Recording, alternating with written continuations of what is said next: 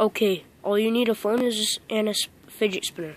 Okay, so you take the fidget spinner, take these caps off, right there, the bearing caps. Uh, see. Now take these caps, and then, okay, and then I glue them together with the glue gun. Okay, now I've glued it together on the glue gun.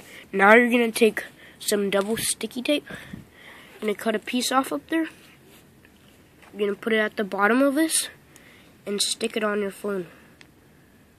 And that is how you're gonna make a DIY phone holder. Bye guys. Don't forget to subscribe.